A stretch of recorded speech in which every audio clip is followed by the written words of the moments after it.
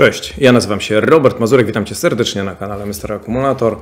Często słyszymy, że drożeje dolar, drożeje baryłka, drożeje to, tamto, kursy walut i w ogóle, w związku z czym za mm, przeróżne produkty i usługi musimy płacić więcej.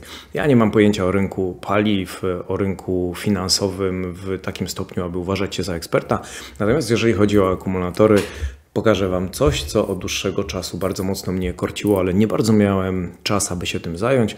Poprosiłem Kamila z firmy, z naszej firmy Świata Akumulatorów, aby poświęcił czas i od grudnia 2019 roku, y, w dniu, kiedy dokonywaliśmy sprzedaży zużytych akumulatorów na rzecz y, firmy powiedzmy firmę X, e, która dostarcza te akumulatory, odbiera z całej Polski i dostarcza bezpośrednio do huty do dnia 3 sierpnia 2022 roku, czyli mamy niespełna trzyletni e, przedział.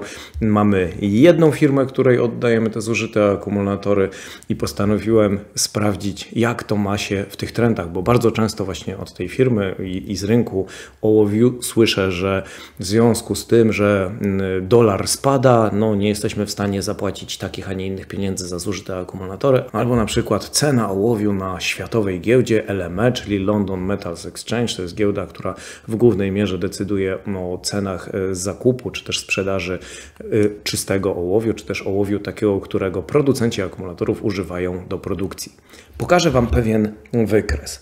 Na przykładzie pierwszej kropeczki wyjaśnię Wam, jak należy odczytywać ten wykres. Pierwsza niebieska kropeczka po lewej stronie oznacza, że w dniu 16 grudnia 2019 roku sprzedaliśmy e, zużyte akumulatory i jedna tona netto to była wartość 691 dolarów i 71 centów. W tym czasie kurs dolara wyrażony w złotówkach wynosił 3,83 grosze i jedna tona ołowiu wyrażona w dolarach na giełdzie w Londynie, w London Metals Exchange wynosiła 1874 dolary. I teraz te punkty utworzyły nam pewną linię. Te takie proste czerwone kreski czerwone to jest tendencja, z jaką zachowuje się mm, cena ołowiu wyrażona w dolcach. Widać, że przez te niespełna 3 lata ta mm, linia tendencji jest linią wznoszącą. Średnio od tego 1700 dolców do blisko 2400.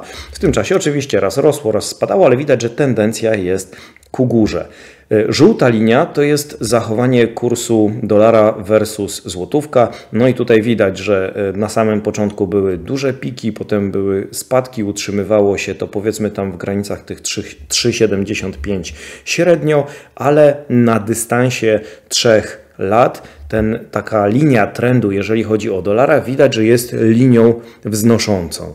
A teraz zobaczcie, że mm, linia trendu, jeżeli chodzi o sprzedaż, po ile sprzedawaliśmy zużyte akumulatory, jest linią poziomą. Y, raz było troszeczkę więcej, raz było troszeczkę mniej, ale suma summarum jest to linia średnia i wskazuje na to, że y, na dystansie tych trzech ostatnich lat mamy linię wzrostu, jeżeli chodzi o cenę ołowiu na giełdzie wyrażoną w dolcach.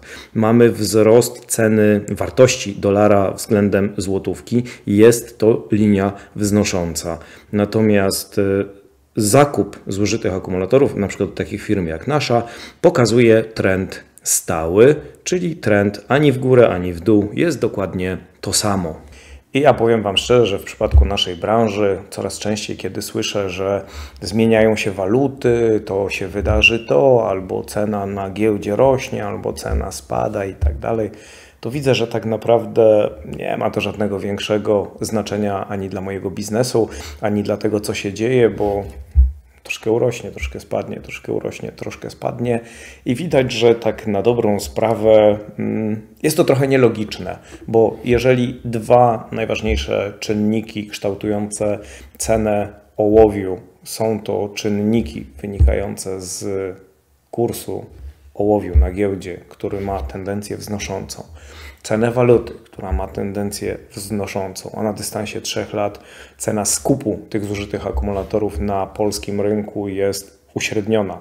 tendencja jest na poziomie płaskim, to mam wrażenie, że nie jest to bardzo naturalne zachowanie tej linii. Tym bardziej, że polski rynek ołowiu jest bardzo, ale to bardzo e, e, zdominowany. Nie jest to rynek, na który może sobie wejść każdy, bo tak naprawdę mamy dwie bardzo duże huty, które mają lwią część rynku, plus dwóch, trzech mniejszych wytwórców. No i oczywiście dochodzi nam import ołowiu z hut ościennych, bo na Litwie są takie huty, w Czechach są takie huty, w Niemczech są takie huty, no w całej Europie są huty. Wiadomo, że transport e, kołowy czy też jakikolwiek inny transport nie jest tani, w związku z czym no, ten ołów też nie jest lekki. Jak się go wiezie z bardzo daleka, to on musi kosztować. Nie jest to film, żeby zrobić komuś jakąkolwiek przykrość, ani pokazać, że ktoś kradnie czy oszukuje. Zupełnie nie. Raczej chodzi mi w tym filmie o to, że Właśnie często słyszymy w przypadku paliw, że baryłka drożeje, że dolar drożeje, na stacjach już ta cena winduje.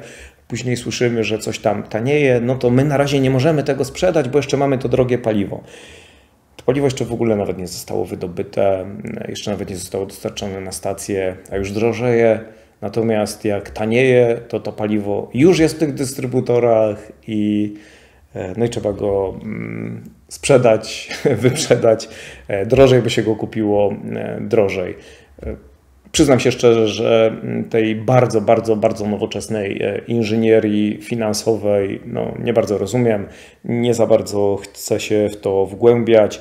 Mi osobiście suma summarum pasuje, bo mm, wynagrodzenie, jakie otrzymuję za zużyte akumulatory jest bardzo dobrą, bardzo wysoką kwotą dla mnie przeznaczam te pieniądze, aby inwestować w firmę, w naszą ekipę, w pracowników, we wszystkie pomysły dotyczące rozwoju naszej firmy. To jest dla mnie taka wisienka na torcie. Niemniej jednak e, te trzy ostatnie lata i ta tendencja pokazuje, że te cyfry się nie spinają. Po prostu mm, te linie, te tendencje naprawdę, naprawdę się nie spinają.